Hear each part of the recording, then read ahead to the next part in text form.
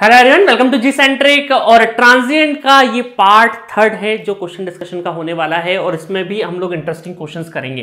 पिछले दो लेक्चर में हम लोगों ने प्रॉब्लम बहुत अच्छे अच्छे डिस्कस करी है। इसमें भी प्रॉब्लम का लेवल थोड़ा बढ़ाएँगे। कुछ स्पेशल केसेस को भी यहाँ पर इन्वॉल्व करेंगे, ठीक है? तो क्वेश्चन नंबर वन है। In the figure shown all the elements use are ideal है ना? For time T less than zero S one remained close and S two open क्या बोला है इसमें? कि S1 वन रिमेन क्लोज है ना? आपका जो S1 है, वो क्लोज है, ये क्लोज है। मैं बना देता हूँ, है ना, ऐसा दिखाने के लिए। और ये आपका S2 जो है, वो ओपन है। At T equal to zero S one is open and S two is close मतलब T equal to zero minus पे हम ये बोल सकते हैं T equal to zero minus पर आपका जो S1 है, वो क्या है? क्लोज है। और S2 क्या है? ओपन है। ओपन है। ठीक है? इसका मतलब हम ये बोल सकते हैं अगर मैं स्टेप नंबर वन लिखूं, है ना? चलो, पहले क्वेश्चन पढ़ लेते हैं, उसके बाद लिखते हैं। At T equal to zero S one is open and S two is close है ना? टी इक्वल टू ज़ीरो पे क्या हो रहा है आपका? मतलब T equal to zero plus पे T equal to zero plus पे आपका उल्टा हो रहा है कि एस वन जो है, वो आपका क्या हो जा रहा है? ओपन हो जा रहा है और एस टू जो है, वो आपका क्लोज हो जा रहा है। अभी मैं सिर्फ़ और सिर्फ़ अभी सॉल्यूशन नहीं कर रहा हूँ क्वेश्चन को डिकोड कर रहा हूँ।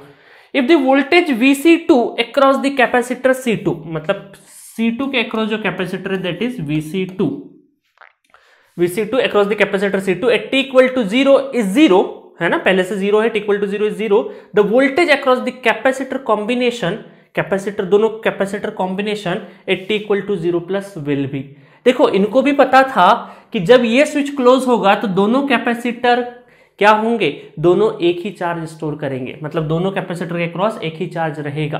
ठीक है? एक ही मतलब कि सेम अमाउंट का चार्ज रहेगा, ठीक है?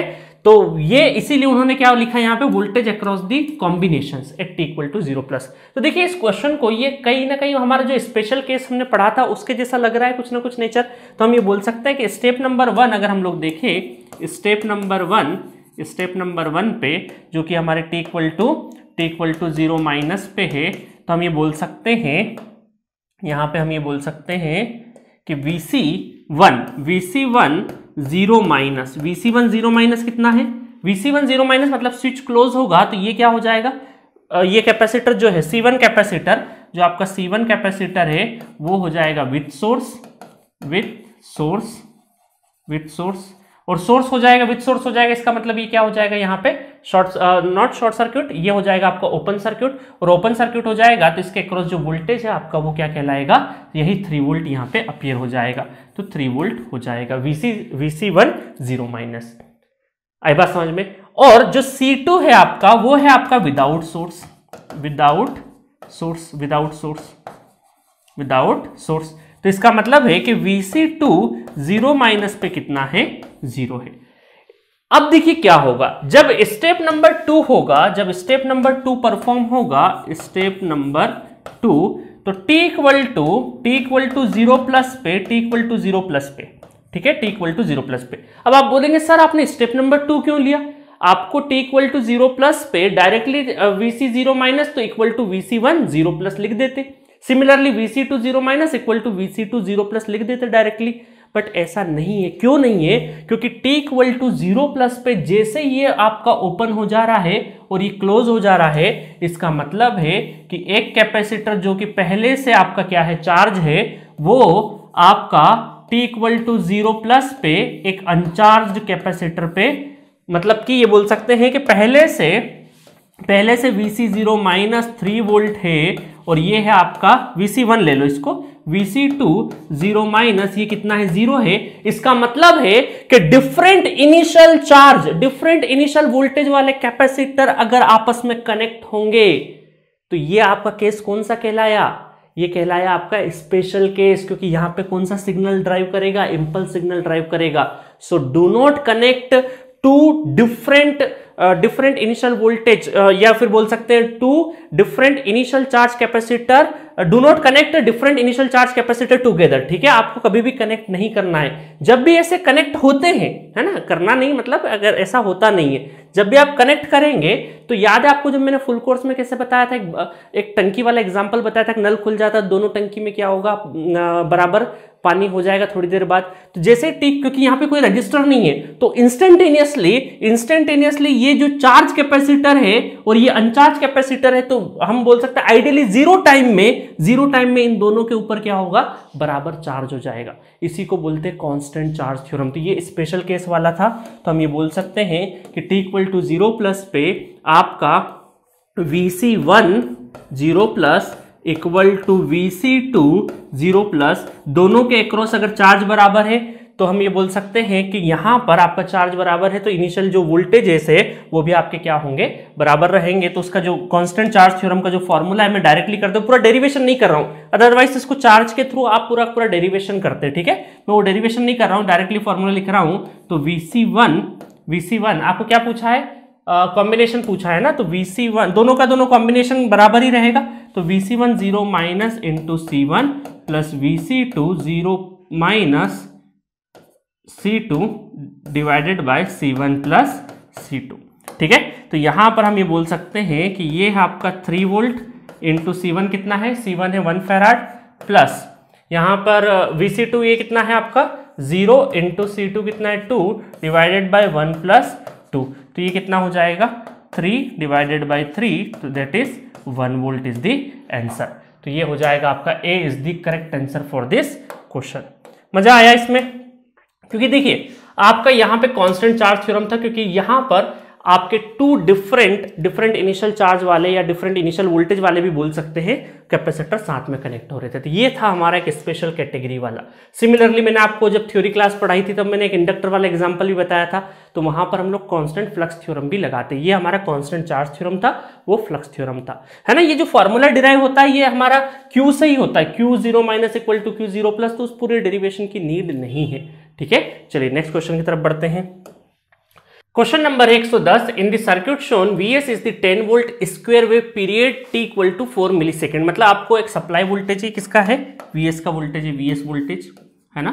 और ये plus ten to minus ten एक स्क्वायर वेव वेवफॉर्म है, जो यहाँ पे टी बाई टू और ये टाइम पीरियड कितना है? टी है, जिसकी वैल्यू आपको दे रखी है four millisecond four millisecond दे रखी, इसका मतलब टी बाई टू कितना हो जाएगा? ये हो जाएगा आपका टू मिली सेकेंड ये टू मिली सेकेंड का टाइम है, ठीक है? और ये टाइम आपका क्या है? फोर मिली सेकेंड का। ये टाइम फोर मिली सेकेंड का है। क्या बोला है? विथ आर एंड सी है ना? कहाँ पे? ये किसको दे रहे हैं? आर और सी आर सी सर्किट पे दे रखे और एक डायोड लगा हुआ है ठीक है? इसको एनालॉग का प्रॉब्लम नहीं समझना।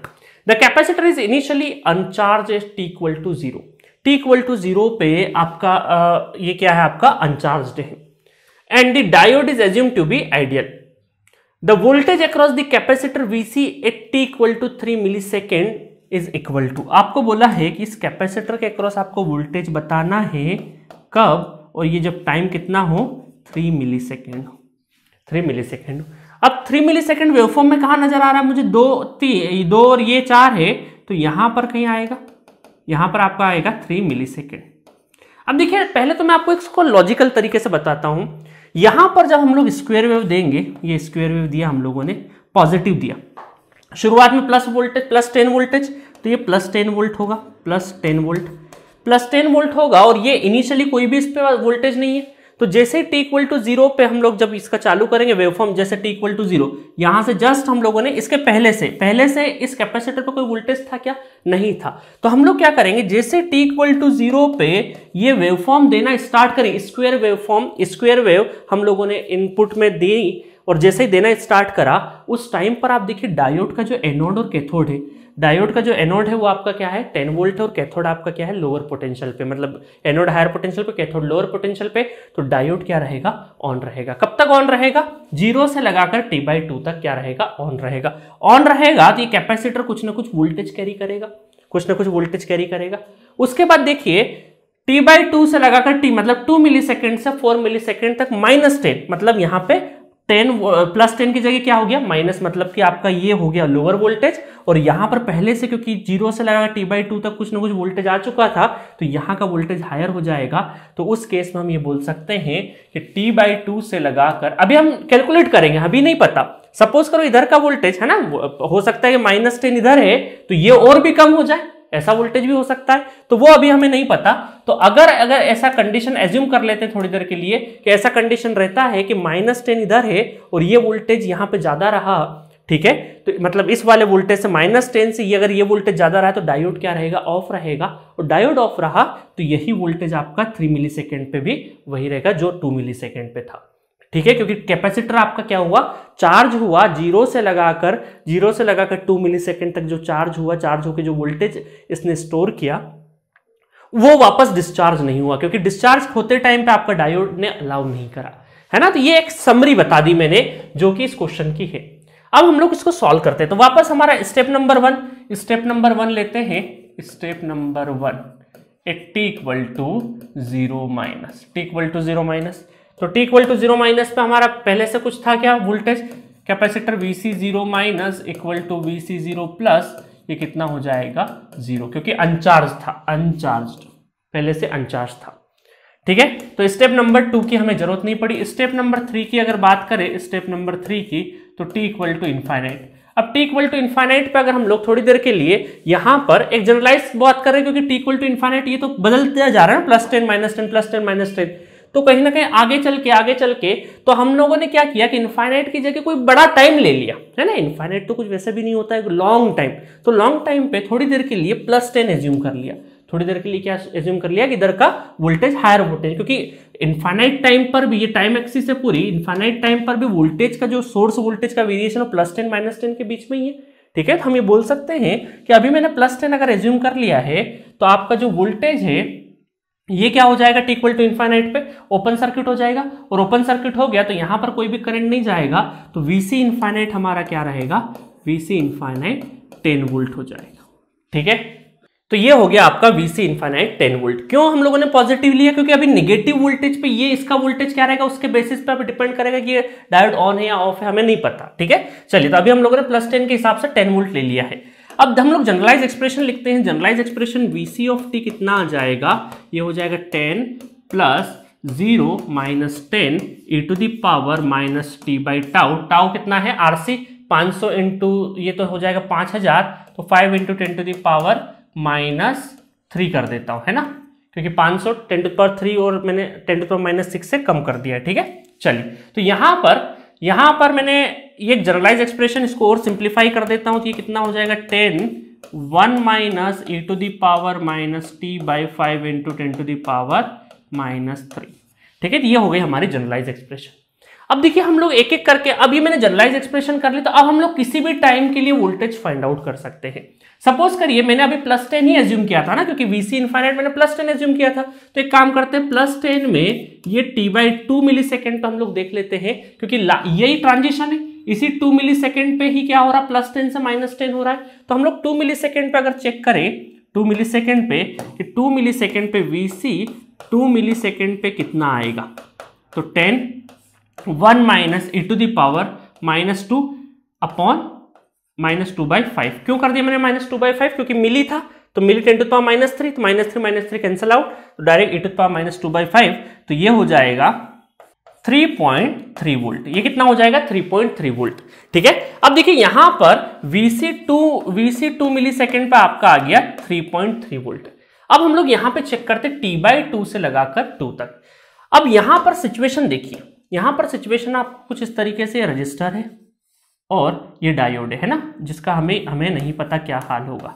और two millisecond just two millisecond क्योंकि टू मिली सेकेंड के जस्ट बाद आपका क्या हो गया है? माइनस वोल्टेज हो चुका है। है ना? ये कैपेसिटर इस कैपेसिटर ने कितना वोल्टेज स्टोर कर लिया है अभी तक? वो अभी हम लोग लिख देते हैं यहाँ पे। ये हो गया आपका 3.3 वोल्ट प्लस 3.3 वोल्ट अब देखिए, अब क्या हुआ? प्लस टेन से माइनस टेन हो गया। ये जैसे माइनस टेन हुआ और ये तो अब डायोड क्या रहेगा आपका? ऑफ़ रहेगा। कब तक ऑफ़ रहेगा? जब तक ये माइनस टेन इधर का, जो आपका एनोड वोल्टेज है, वो आपका क्या रहेगा? माइनस में रहेगा और कैथोड वोल्टेज बड़ा है। तो इसका मतलब टी बाई टू से टी तक आपका डायोड क्या है? ऑफ़ है। और डायोड ऑफ़ है, इसका मतलब है, कब तक ऑफ़ है डायोड ये है टी बाई टू से लगाकर टी तक आपका क्या है? ऑफ़ है। और ऑफ़ है उस केस में आपका कैपेसिटर का वोल्टेज वही बना हुआ है, क्योंकि जब तक ये कैपेसिटर किसी रजिस्टर से कनेक्ट नहीं हो जाता, तब तक ये डिस्चार्ज नहीं हो सकता डिस्चार्ज नहीं हो सकता तो इस बीच में भी यही वोल्टेज यहाँ पे बना हुआ रहेगा। और हमें पूछा कहाँ पे? थ्री मिली सेकेंड और थ्री मिली सेकेंड भी क्या है? इसी बीच में आ रहा है। इसका मतलब है कि यहाँ पर वीसी थ्री मिली सेकेंड पर भी कितना वोल्टेज रहेगा? 3.3 वोल्ट ही रहेगा। आया समझ में? तो इस तरह के प्रॉब्लम को आप इस तरीके से हैंडल कर सकते हैं, जैसा मैंने यहाँ पे बताया है। मज़ा आया। तो डायोड ऑन ऑफ़ का सिंपल तरीका है एनोड एनोड और कैथोड के बीच का। वैसे एनालॉग एनालॉग अगर बहुत अच्छे से पढ़ा होगा ब्रिज किशोर सर ने बहुत अच्छे से पढ़ाया है तो डायोड के सिंपल प्रॉब्लम आप बड़ी आसानी से कर सकते हैं। ठीक है? चलिए, अब नेक्स्ट क्वेश्चन की तरफ़ बढ़ते हैं। तो ये थोड़े से एक ऐसे प्रॉब्लम है जहाँ पे स्टूडेंट को थोड़ा सा करने में डर लगता है, जब सिग्नल दे देते हैं स्टेप या इम्पल्स कुछ भी ऐसे सिग्नल दे दिए, तब वहाँ पर डायोड भी इन्वॉल्व हो जाता है। तो देख के स्टूडेंट को लगता है, अरे यार, कहाँ करेंगे? स्टार्ट ही नहीं करते हैं। आपको सिंपल सा आपको दिमाग लगाना है, थोड़ा छोटा छोटा छोटा। हाँ मानता हूँ कि हो सकता है, उस टाइम पर क्रेक आपको क्लिक नहीं करे बहुत सारी चीज़ें। बट आपको कहीं ना कहीं इस पर थोड़ा बहुत भी अगर दिमाग लगा लिया तो क्वेश्चन आसान बनता है। एक ट्रिक होता है, एक क्लू रहता है, उस क्लू को पकड़ना रहता है। वो क्लू अगर आपने पकड़ लिया तो क्वेश्चन बहुत ही ईजी हो जाता है। ठीक है? तो डरने का नहीं है। 65 में से 45 50 क्वेश्चन हमें करना है। अगर कुछ क्वेश्चन नहीं भी होते हैं तो कोई टेंशन वाली बात नहीं है। पेपर में 100 परसेंट नंबर नहीं लाना है। आपको कम से कम 100 नंबर का अगर पेपर है तो आपको 75, 85 भी लेके आ गए तो टॉपर के ही नंबर होते हैं। आप 65 से लगाकर 80 की रेंज में भी नंबर लेके आ जाते हैं तो बहुत अच्छा रैंक आ जाएगा आपका ठीक है? चलिए नेक्स्ट क्वेश्चन क्वेश्चन नंबर 111 सौ ग्यारह. The voltage V of T shown below is applied to the given circuit V of T equal to three volt for T less than zero and V of T equal to six volt for T greater than zero the value of current I of T at T equal to one second in ampere is इतनी देर से हम capacitor capacitor के पीछे पड़े थे, अब आया इंडक्टर, है ना? अब आया इंडक्टर। अब देखिए, यहाँ पर क्या हुआ है कि आपको ये आई ऑफ़ टी पूछा है ना? ये पूछा आई ऑफ़ टी जो कि करंट आपका इंडक्टर के अक्रॉस ही है। इंडक्टर के थ्रू आपका करंट जा रहा है आई ऑफ़ टी तो इसका मतलब है step one step two step three follow करना पड़ेगा हमें। बिल्कुल कर लीजिए। तो स्टेप नंबर वन क्या है आपका? स्टेप नंबर वन है T equal to zero minus T equal to zero minus पर आपका वोल्टेज कितना है? T equal to zero minus पर वोल्टेज कितना है? इस टी इक्वल टू ज़ीरो से पहले वोल्टेज कितना? थ्री वोल्ट है। ये कितना आपका? थ्री वोल्ट थ्री वोल्ट है। उस टाइम पर आपका जो ये जो वोल्टेज है, ये जो सोर्स है, इस इंडक्टर पे इंपैक्ट आ रहा है क्या? बिल्कुल आ रहा है तो हम ये बोल सकते हैं जो इंडक्टर है, वो आपका क्या कहलाएगा? विथ सोर्स कहलाएगा। इंडक्टर क्या है? विथ सोर्स और विथ सोर्स है, इसका मतलब है आपका यहाँ पर जो इंडक्टर है, वो होगा शॉर्ट सर्क्यूट ये थ्री वोल्ट ठीक है? और ये है आपका एक रजिस्टर और ये है आपका इंडक्टर जो होगा वो शॉर्ट सर्क्यूट हो जाएगा, ठीक है? और ये है आपका वन वन और वन और यहाँ पर हम ये बोल सकते हैं कि ये हो जाएगा आपका I L zero minus I L zero minus current flow हो रहा है। तो अब ये करंट फ्लो हो रहा था अब देखिए सिंपल सा सर्क्यूट है आप ट्रांजेंट भूल जाइए। अब आपको सिंपली एक सिंपल सर्क्यूट है, जहाँ पर आपका एक बेचारा सा थ्री वोल्ट वोल्टेज लगा हुआ है रजिस्टर है, दो पैरेलल में रजिस्टर है और ये करंट निकालना इस तरह का प्रॉब्लम तो आपने कई बार किया है। कैसे करते हैं हम लोग? टोटल करंट निकाल लें। टोटल करंट निकाल लेते हैं अगर यहाँ पे टोटल करंट और अगर ये टोटल करंट पता चल जाए तो उसको करंट डिवीज़न रूल लगा देंगे। तो टोटल आपका कैसे पता चलेगा? ये दोनों काय में आ गए। पैरेलल में पहले टोटल निकाले तो इक्विलेंट कितना हो जाएगा? दोनों दोनों। वन और one parallel one by two one by two और वन फिर क्या हो जाएगा? सीरीज़ में हो जाएगा।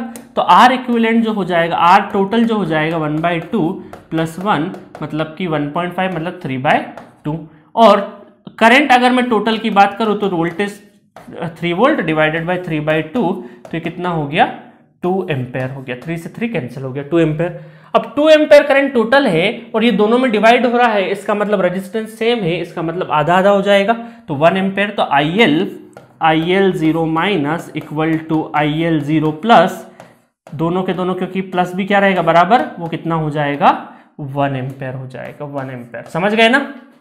वन एम्पेयर तो विथ सोर्स लगाया हमने इंडक्टर को शॉर्ट किया तो इसके अक्रॉस जो करंट फ्लो हो रहा है, वो हो रहा है वन एम्पेयर अब आई एल ज़ीरो प्लस पे भी वन एम्पेयर फ्लो हो रहा है। अब क्या हमें स्टेप नंबर टू की ज़रूरत है? नहीं, क्योंकि हमें सिर्फ़ और सिर्फ़ इंडक्टर के थ्रू करंट पूछा है और उसमें हमें ज़ीरो प्लस मिल चुका है।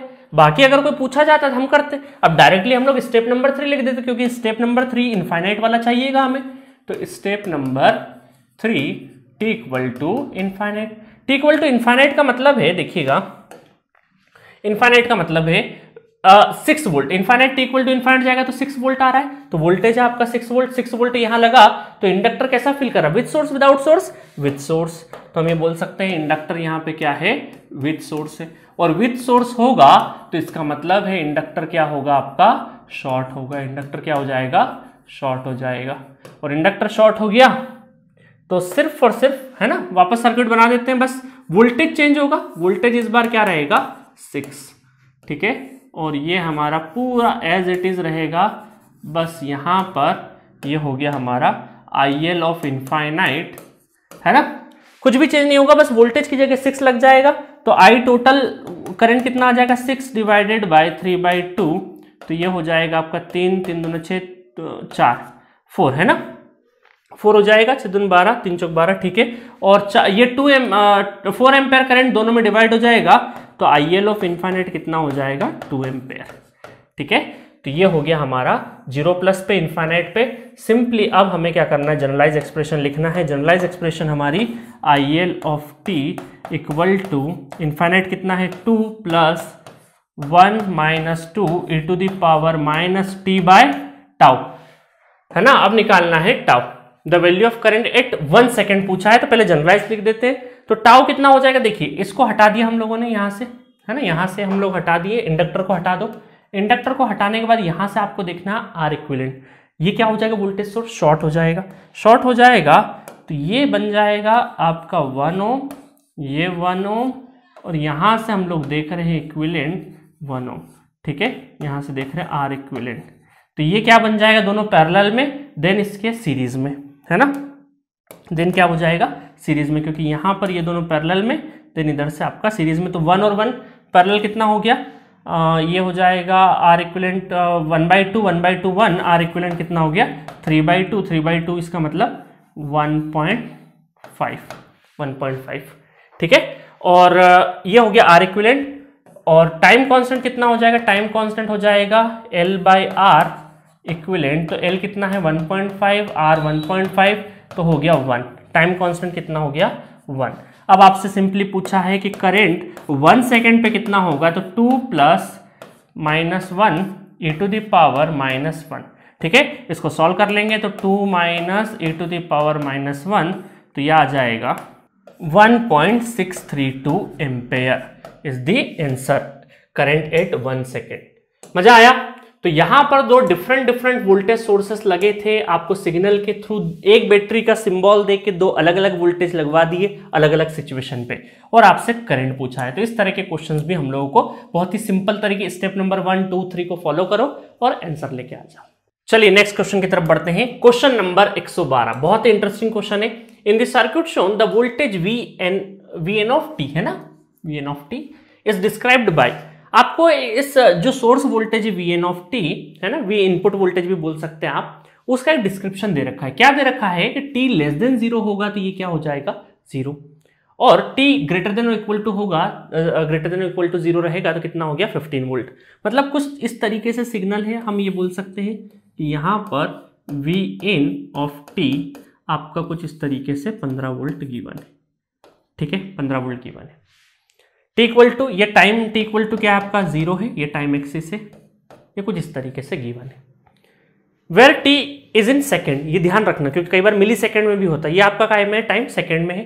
The time in seconds at which the current I current I है ना capital I in this circuit reach in this circuit will reach the value two ampere is आपसे बोला है कि जो आई करेंट है, कहाँ दे रखा आई करेंट ये दे रखा आई करेंट ये आई करेंट की वैल्यू टू एम्पेयर पहुँचने में कितना टाइम लगेगा?